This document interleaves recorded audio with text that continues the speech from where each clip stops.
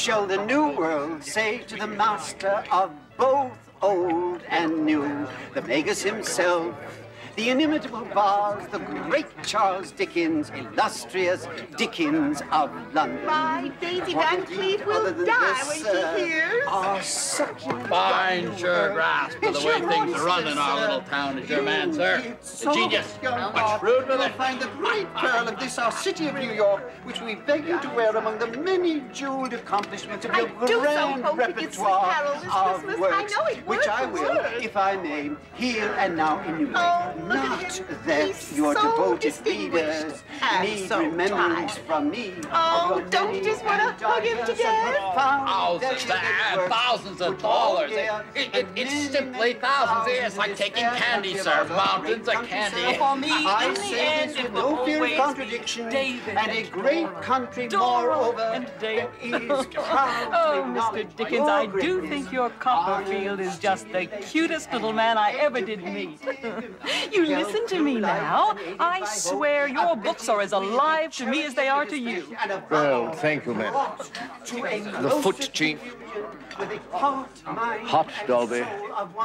Very hot. I think it must be the overheated language of our generous friend. I trust you'll keep your answer short, otherwise we'll have them all night. Ah, yes, dear. Master, But let me speak first. I cannot of tell you how often I lie in my bed in the lonely hours of the night, thinking of that poor, memories, darling, cute aspects little of your time, Copperfield.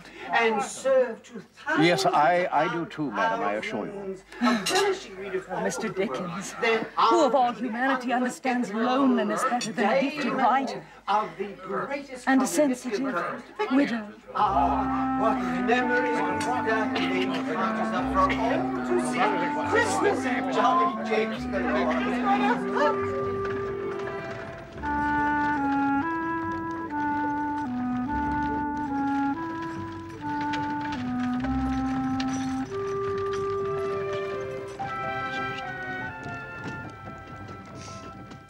Emily, he says, I thinks I'm dying.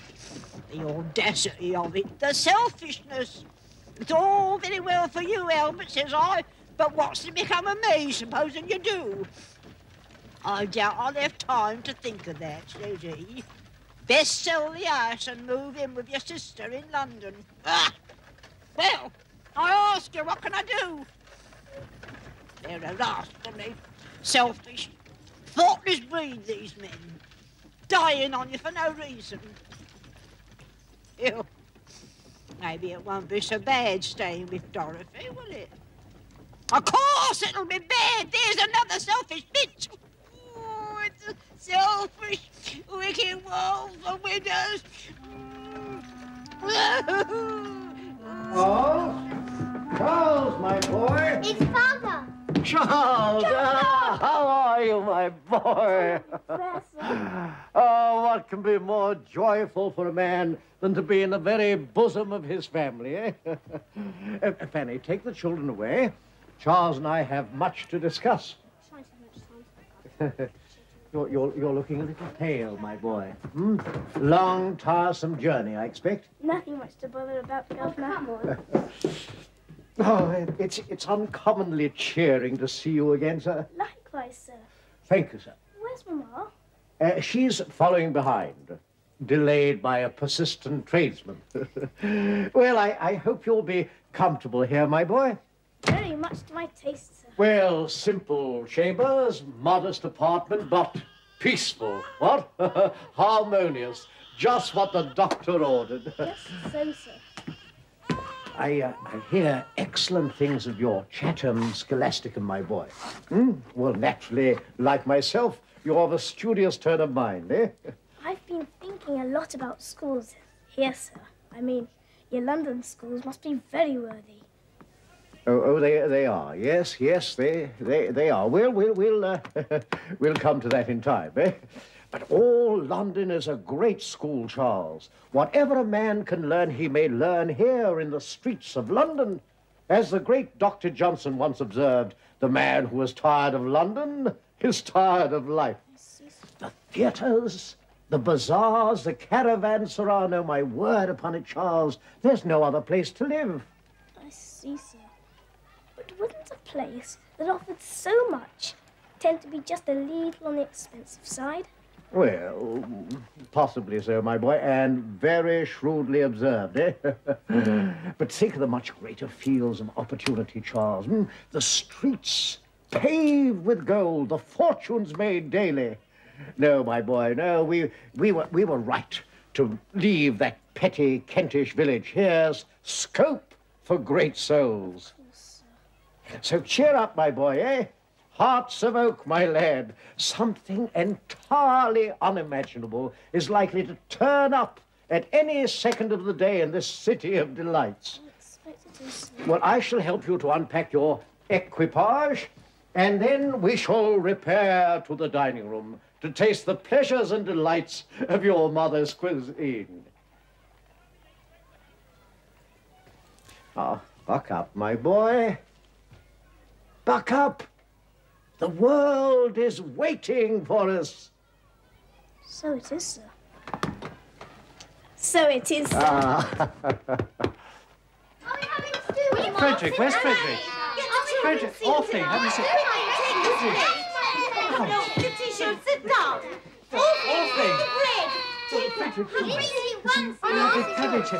Fanny. Well, Fanny, will you... Orphy! Orphy! Orphy! Mrs. Dickens. Mrs. Dickens. And who do we have here? Charles, my dearest boy. You can't Ah, how good it is to be back in the bosom of the family, eh, Charles?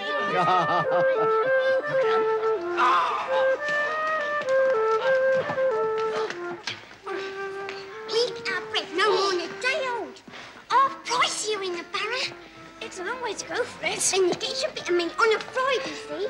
Because they slaughter on a Tuesday. And whatever left over by Saturday, as if it ain't gone in the pickle barra, stinks like I don't know what. So, on Friday, you get your bit of meat for a bargain, see? Right, Now, as for your few greens in it, you pick some up for nothing round all the greenery stores. And with a bit of luck, you may get a turnip or a spud a sofa in. See? Come on, come on. Watch out!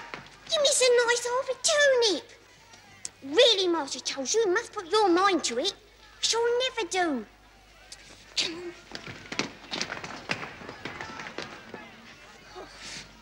Still and all, we done really well. But I don't see the necessity for such excessive care. The necessity, indeed. The necessities, Master Charles. We've got mouths to feed. And precious little the jingling stuff to do it with. But my father has an important position in Somerset House, which is, don't you know, the heart of our great navy. So he has, granted. But what he also has is a little matter of the deed. That foul deed persecutes us everywhere. Never mind now. Here, get your teeth into that, Master Charles. I just found it, didn't I? Thanks. Want a bite? Thanks. The thing is, Orfling, I'm losing valuable scholastic time. Thanks very much. Suppose more lessons ain't nothing at all. Of course, it's all valuable experience. But don't you see, my dear Orfling, if I got on with my education now, I should soon be able to settle the little matter of the deed. After all, it's a mere matter of money. The golden gate of which education is the key. You do talk nice, Master Charles. You saw a lot of rock for all that. Because we need bread today. We can't feed the nippers on jam tomorrow, Master Charles. I take your point, Orfling, dear. Oh, drop it, Master Charles, drop it. But don't you see, my dear Orfling? Drop it. What's the matter? Nothing. Something is. Nothing is. Really, my dear Orfling? If you must know, Master Charles, it don't a person to be called Orfling all the time. Orfling, Orfling. I suppose not. I never really thought about it. Well, think about it then. All right, then. What is your name? What is it, for goodness sake? What shall I call you? Miss Crumbs, Henrietta Apple, Lady Blue knows what. If you must know, I don't have a bloody name. exactly why we call you Orphan. I may be an orphan, but I've got me rights to a proper name that other coves do. Why not, indeed? Perhaps you'd like to pick a name for yourself. Can I, Master Charles? Of course you can. Now, what shall it be? Angela? Or Serena? Or Faustine? Or Julia? Two stack up. Hmm. Betty? Or Molly? Or Lily? Or Polly? Now, these soppy girls' names. Hmm. All right, then you choose. Well, my very favourite name is Charles. You can't be Charles. I'm Charles. It's a man's name. All right then. Sam. Sam? Sam. I shall make an excellent Sam. Can I? Of course you can. Sam is perfect for you. Perfect. Sam will do really well. Come on, if we get to the pie shop just before she closes, you get two meat pies for a penny. Otherwise, you see, the old door chucks them away. This way! Just follow! Charles, ah, a surprise for you. Behold, the Queen of Night. Tonight we celebrate our anniversary. What anniversary, John? Uh, some anniversary or other. My poor boy, how tired you look. Not at all. And you look splendid, Mother. Ah. Oh, precious little man. Now come along, my queen. We must dance the night away. The music is playing. Our coach awaits. Let us away into the night. now don't stay up all night reading. You need your rest, my boy. Good night, my dear. Good night, Charles. Oh, Father! Yes? Your boots. Boots? Oh, boots. Oh, I, I forgot my boots.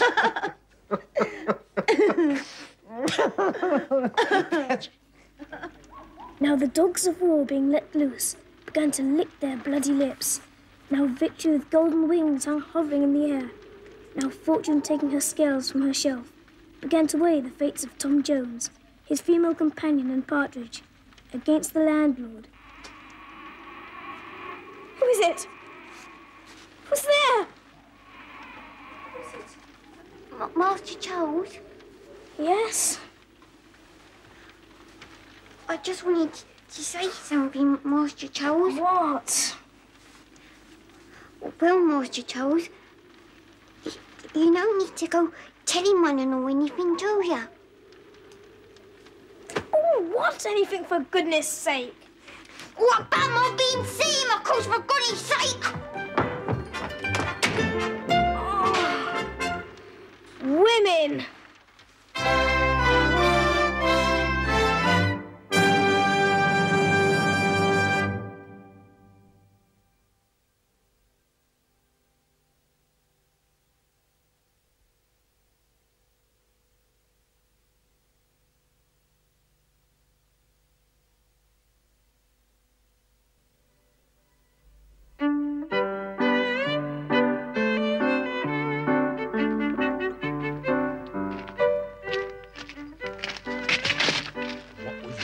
You be awaiting for, boy? Who, me?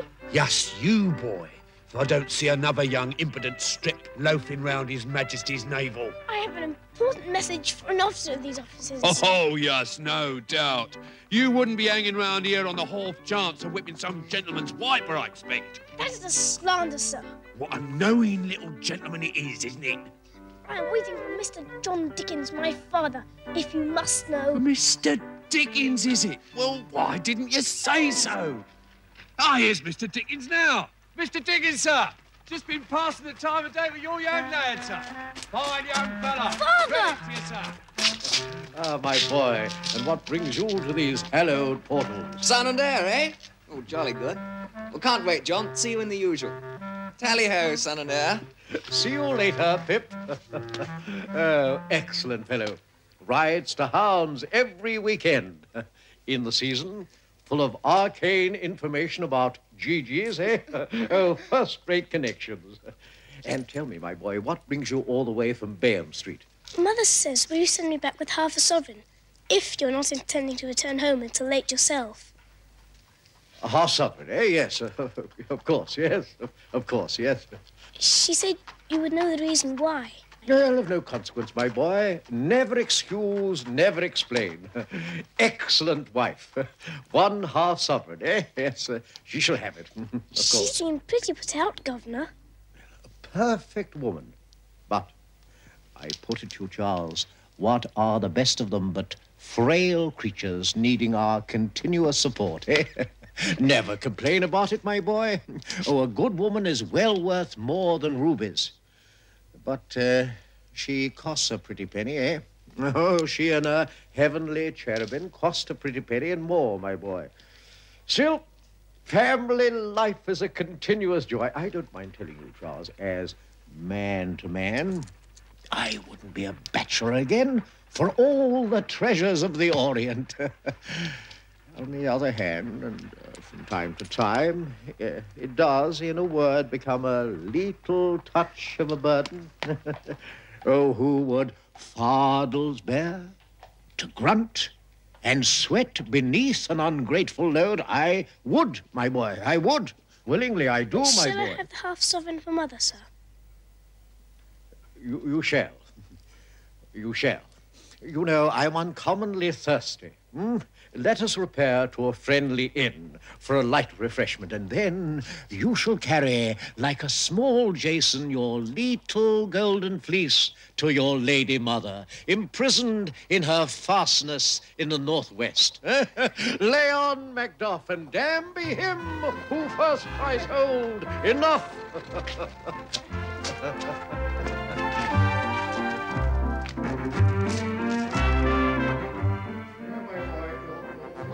is a perfect lady. Uh, excellent life. First-rate breed. Distinguished ancestry.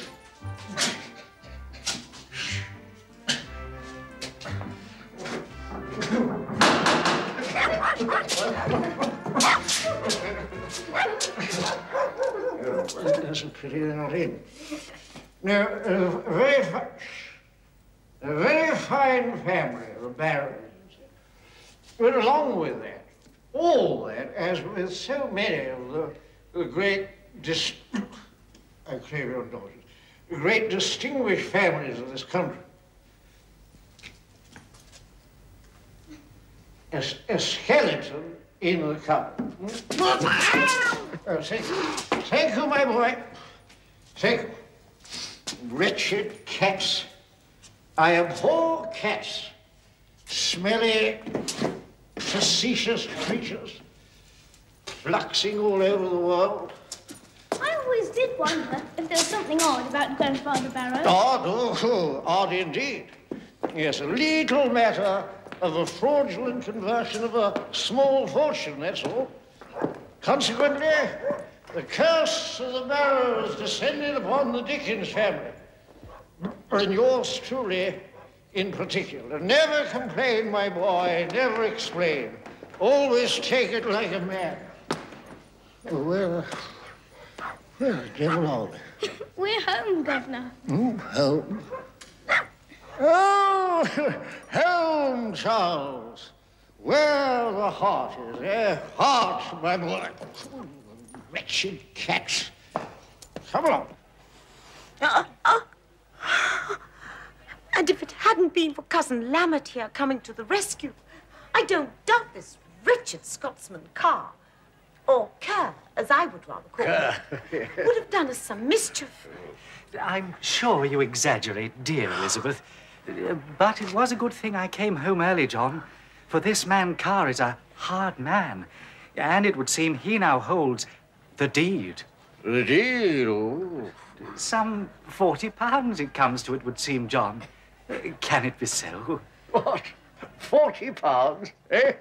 Forty pounds, four hundred pounds. Forty thousand pounds. Yeah, what's it to me? Charles, to bed.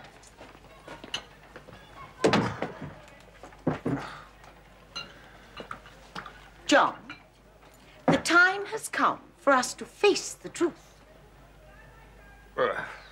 Never, I say. Elizabeth is right, John. This man Carr is no petty Chatham tradesman. James and I have been talking things over while waiting for you to return. I hope you won't resent it, John, but I feel it's for the best. Oh, carry on. What? carry on. I'm in your head. I shall take up gainful employment myself. Never, I say. And Charles also shall help.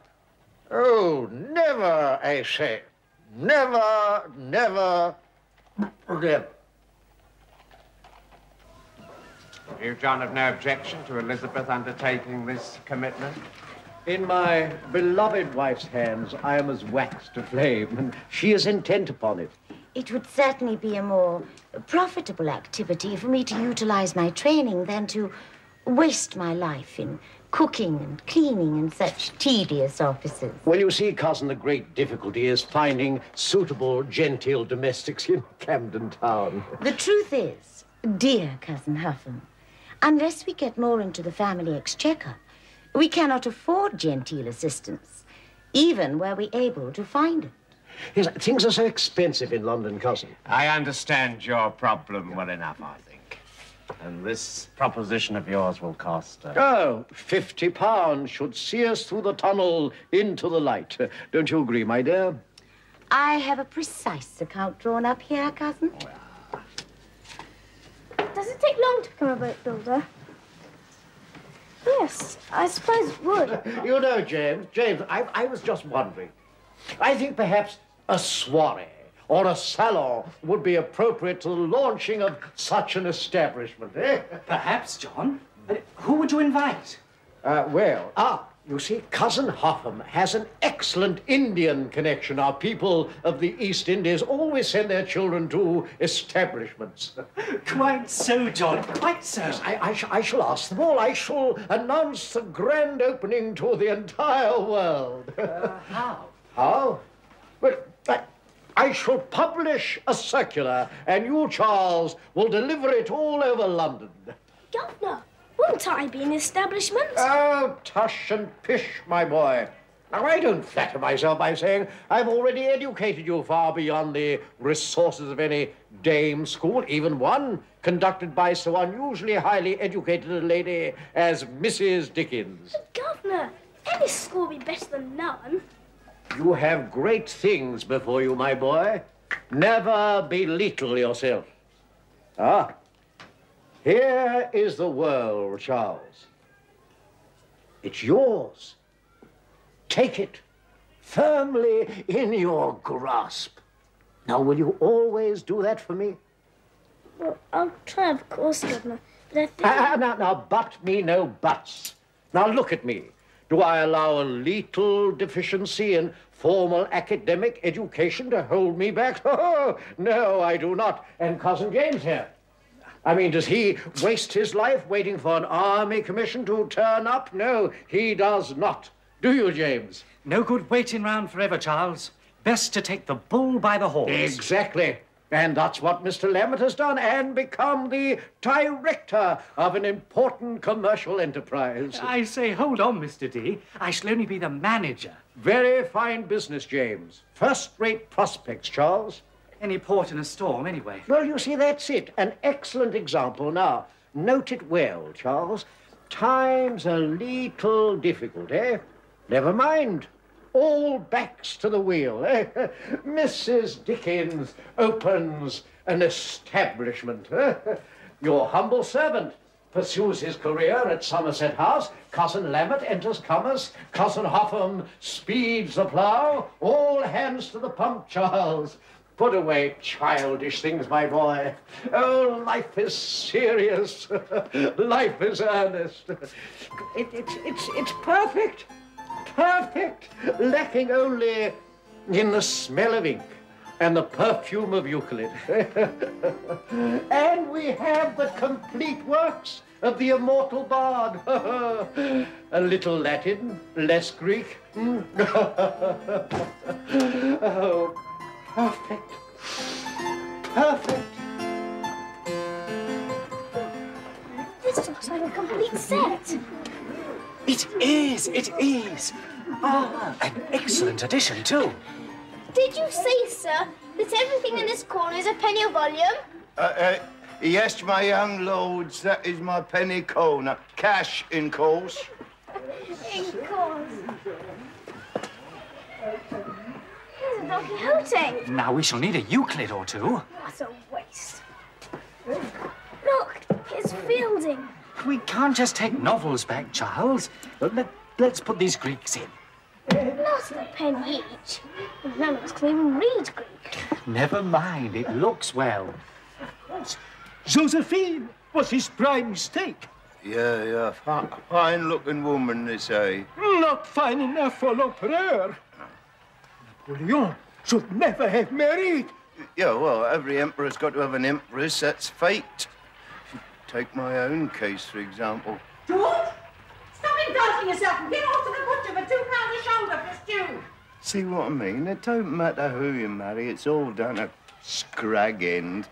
I can't shave myself, not with my shake, can I? Unreasoned female. It's a question of the proper alliance at the right time. Napoleon, at the peak of the crown princesses of Europe. What call had he to get mixed up with a ratty old widow? Yeah, well, man is a weak vessel, they say. Careful little nip. No. Only on Christmas Day and Emperor's birthday. Yeah, well, suit yourself. It's just that shaving gives me a thirst. Same time tomorrow. Yeah, yeah, good enough, good enough. Oh, well, now, my young gents, that's a rare lot of books you got there. Are you starting a library? Yeah, I'm getting on, my linnet. Uh, they are a penny each. Cash, of course, but they're only three a penny if you bring them back, mind. no chance of that. They're for Mrs. Dickens' establishment. See? I am I'm going, my linnet. Oh, look. Oh, how, how many have you got, gents? Forty items. Oh, uh, say three shillings a lot. I'm going, my linnet. I'm going. Three shillings for practically the whole of literature. Uh, yes, well, when they're second-hand, I do let them go rather reasonable. I'll better be going. Oh, uh, you'll find that there's some uh, stewing, uh, uh, strings somewhere. Uh, y- yeah, that's 40 volumes paid in cash, Mary Marlinette. At least I shall have plenty to read in Mother's school. Oh, come, Charles. That's hardly a manly attitude in the circumstances. Circumstances? Well, you must realize that the deed is still over your father. And now, of course, there will be the extra debt to Mr. Huffam. But Father says that Mother's establishment can't fail to make a great deal of money. And I dare say he's right. But in the meantime, would you not feel more satisfied to be bringing in a salary to the family treasury rather than being a charge upon it? Well, well, yes, I suppose I would. But how? As the rest of us do, dear boy, by taking a job. But my education isn't half finished. How will I succeed if, if I'm only half finished? A position with expectations is no mean thing, Charles. But, Cousin James, I've written some small things, and I wish to go on. Truly, I do. Indeed. Then I must read more and more and more, mustn't I? Well, uh, a salaried position will hardly prevent your writing and learning, Charles. Damn it! Fanny's at school and everyone is thoroughly pleased about it. Fanny's doing so well, and Fanny's reading the tonic sol-fa. It's excellent. Why must it only be Fanny? Shame, Charles. Surely you won't be girlish about this matter. A young lady needs a little polish on her to attract a good marriage. But in a man's world, a man must work. Or so I've always been led to believe. It's so damnably unfair. I hope you won't use such language at home, Charles. Damn, damn, and damn it to hell! Damn, damn, and damn it to hell, I say again. Oh, language, John. I appreciate your passion in the matter, but I cannot and will not. And were you in a more temperate frame of mind, you would not expect me to countenance such language. No, sir. In all that I have willingly accepted in the course of our married life, I will freely admit that I have never been subjected to the mortification and, and, and, and vilification of an impure tongue of a generally devoted and seemly spouse. Very well, my dear. I withdraw the language hmm, with an appropriate apology. Let that be understood, then. I withdraw the language. Very well. Let that be an end to the matter. Uh, no. No, I, I'm very much afraid, my dear, that it, it cannot be the end of the matter. Allow me, then, to point out to you, Mr. Dickens, that we have taken on a house for £50 a year, when we already have one we cannot afford at 23 Yes, but, but even so, my dear, I do not think that Charles And should be allow un- me to point out that we no longer have Cousin James helping with the rent anymore. Yes, yes, I, I'm, I'm well aware of the, of the, the details, my, but you see, my dear, they are mere details. They do not alter or change my conviction that Charles is of a sensitive disposition. And, And am I should- not of a sensitive disposition? Of course. Of, And of are course. all our children not of a sensitive disposition? Indeed, yes. And are you yourself not of quite a sensitive Ah. disposition when it comes to needing more than a case of Madeira a fortnight? Don't you tell me about sensitive dispositions, John. We are in a disposition where we need every wretched penny that can be brought into the house. And that is why I say that if Cousin James is willing to use his disposition to give Charles a start, why then we must give thanks to the Almighty for the six shillings a week it will bring us. And Charles must set his hat at a great career in trade. In, in trade? And that's all, my dear. That's all, you see. I, I do not wish a son of mine to enter trade, madam. I, I see no necessity for a Dickens to enter trade. I will not have one of our distinguished family in trade, I say. Black, blacker, blacking, Warrens, of course. Warren's jet blacking, the pride of mankind. Give it a try and your death you will find. You surely won't be girlish about this, Charles, will you? Will Warren's blacking is the best. You can just forget the rest. With Warren's blacking is the worst. Blacks your heart and makes it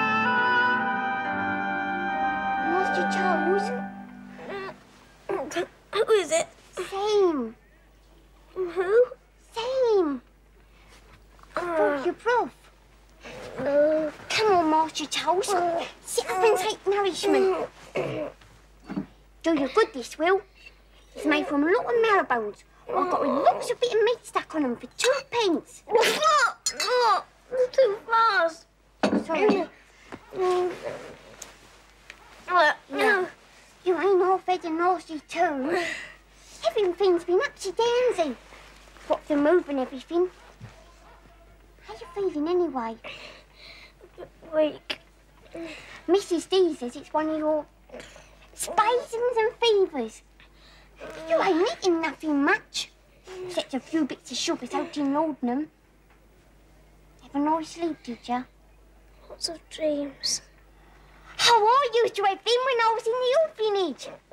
All about angels and big steaming fruit puddings and that. I don't ever know more since I come into service.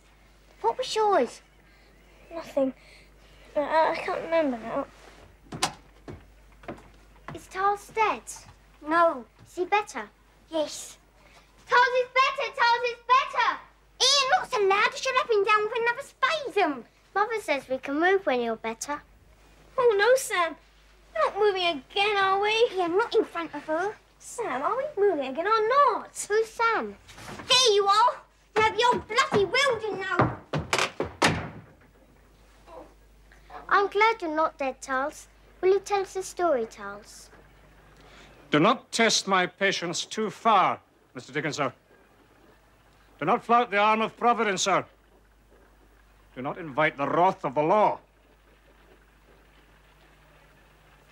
We will not suffer a man to live in luxurious comfort and prodigality while his legitimate debts remain ignored. Surely, sir, you, you would not call these conditions luxurious. A fire, sir. A coal fire.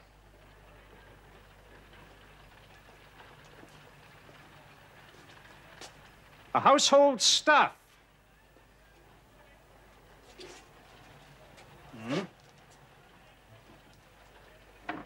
Food for all, no doubt.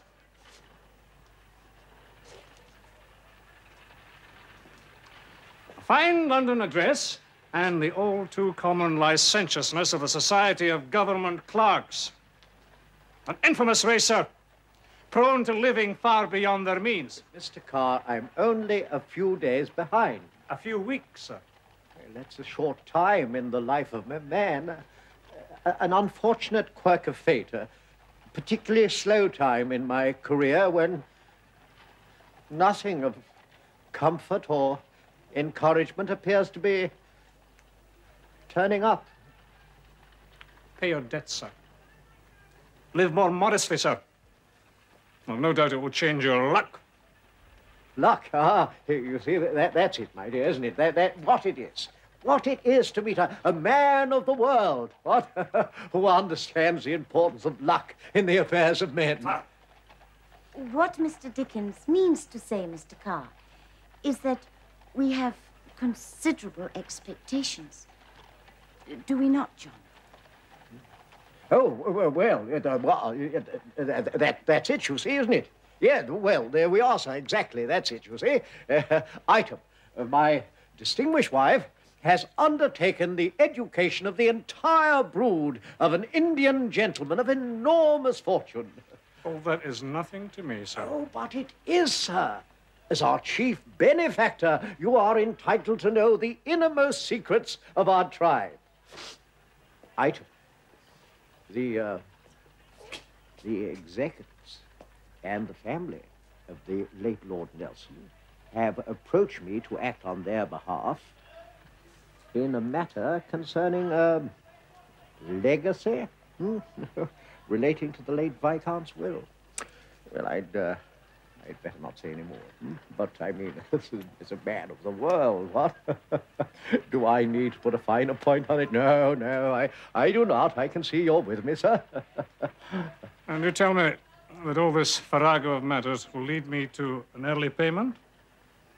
An early payment? Complete settlement, sir. Very well, Mr. Dickens. But I tell you once again, time is running out for you. But, as a Christian man, I will give you yet one more opportunity to make good your word. Well, I am grateful to you, sir. Mrs. Dickens is grateful to you. The entire Dickens family is eternally in your cognizance, sir. Good day to you, sir. Madam, Now, good day. children, children, three cheers for Mr. Carr. Hip, hip. Hip, hip. Hip, hip. What a Scottish beast that man is. What a Glaswegian monster. What the... Oh, John! Hang on, Leave me, Vic. Leave me, I say. Leave me. Here. On the floor where I belong. Oh, before my very children. Oh, my God. Do it again, Father. Do it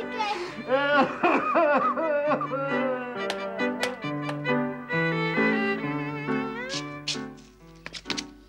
Excuse me if I disturb, Your Honour, but this ain't your private study, I think. Mr. Charles Dickens attending Mr. John Dickens. Perfectly aware of who Your Honour is and who you're waiting for. And we still have an unconsidered bylaw what says no loitering nor vagrants. So sling your hook, you snotty little tyke. Supposing I was to offer you a shilling, sir. Now, what would you say to that? I would say you was a proper gentleman. I might camp out here all night if that was Your Honour's inclination. I see. Well, sir, Well, what, sir? ain't no taste in nothing, is there? Very well put, sir.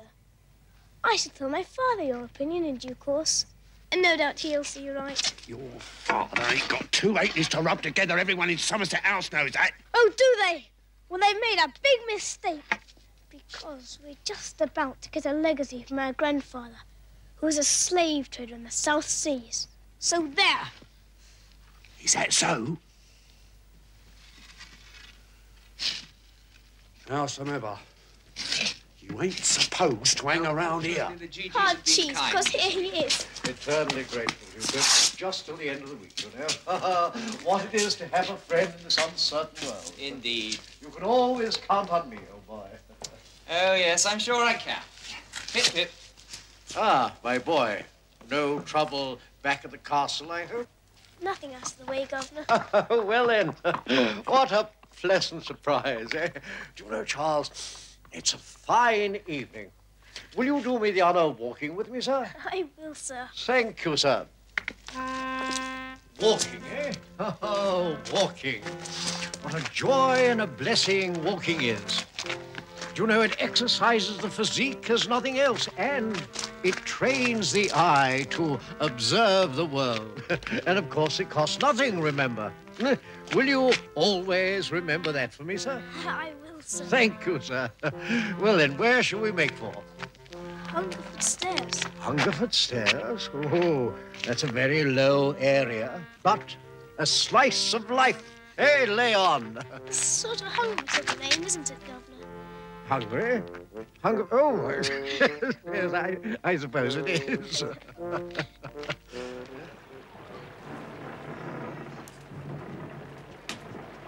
Come along, my boy. Let us away to a friendly hostelry for a pie and a pint of porter, eh? Oh, this is a depressed and depressing place. Old Father Thames smells something horrid. Tell me, Father, why does our blessed, blessed and benevolent monarch permit it? Well, our blessed and benevolent monarch, my boy, is no autocrat. We English will not brook a tyrant who tells us to live this way or that. We insist on a free choice. Do you say so? These people choose to be poor? No, my boy, they choose to be vicious and thus become poor. Surely, sir, not all the poor are vicious. No, no, no, some are merely weak. And what are we, sir? We? my dear boy, we? We do not belong to the poor. Oh, and Dickens could never be such a thing. And how would you describe our situation? Well, we are genteel, comfortably situated members of the middle class, the backbone of England, who find ourselves in a temporarily difficult situation. poor, poor we shall never be, never. Yes, well, here's your precious Hungerford Stairs, my boy. A wretched, miserable, and unsuitable place. And I can't think why you brought us so far out of our natural... Yes, of course.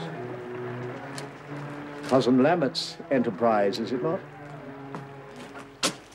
Cousin Lamert was good enough to suggest there might be a position for me at Warren's. And I must conclude the business arrangements. Well, it, it, it, it, it was suggested. Oh, yes, but at, at no time did such a course seem necessary to me. But do you not think, sir, that a man rise from such a position to become a captain of industry? Oh, well, of course he could. I mean, of course he could. Uh, no end of opportunities, eh? I, I know that from my own experience. But on the other hand, uh, Position pays six or even seven shillings a week. And of course, that's only a start. well, I, I, I believe that uh, uh, such a sum was suggested, but uh, it's, it's not what I would have wanted for you, my boy. No, I see. Since apparently there's to be no other school for me, I best help to keep us in our present station in life. Well, I, I, I appreciate your uh, sentiments, my boy. But, uh, but I, I'm sure it can be avoided, eh? yes, you'll, you'll see. Something will, at any moment, turn up. I'm sure it will turn up. I, I know it will turn up. S- something must turn up. you'll, you'll see, my boy. I promise you. Something entirely unimaginable will eventually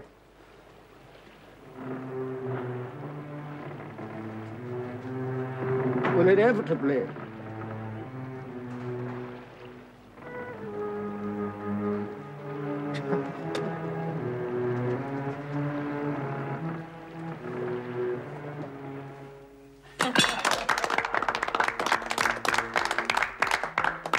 Illustrious Dickens of London. Dickens. Well, my dear friends, I hope you will forgive me not standing to reply to our reverend friend's more than more than generous toast. The fact is, I, I have a foot which, though magnificently encased in a black boot, magnificently shining, is nevertheless a rascally fellow with an ill disposition entirely of his own and a malignant tendency to punish me uh, from time to time.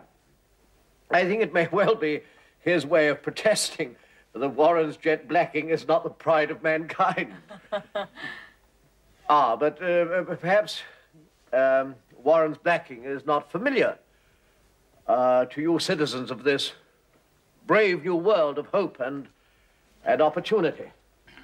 And, uh, and, and yet you have uh, many universities, magnificent universities, and uh, many uh, genteel people of uh, the middle class, and of course the poor. You many poor, since the poor, it seems, are always to be with us. As the bishop remarked, God must love them, for he made so many. Where was I, Dolby? Warren's blacking, was it? You did mention it, but only in passing.